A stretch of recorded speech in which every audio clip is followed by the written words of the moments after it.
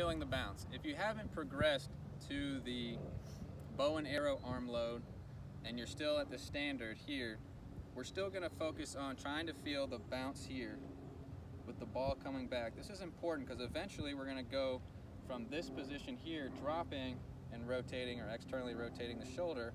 We're gonna go from here and we're gonna throw the ball back with the same effort it takes to drop this way before we rotate the shoulder externally.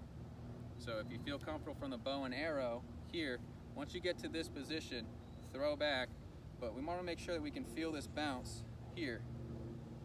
Now, the tough thing with this is you're going to have to train to feel the bounce like this first, loose arm, almost ragdoll-like, because when you do it properly, the ball's going to drop and I'm going to rotate simultaneously and it's not going to hit a point to bounce and reverberate. It's going to hit and rotate.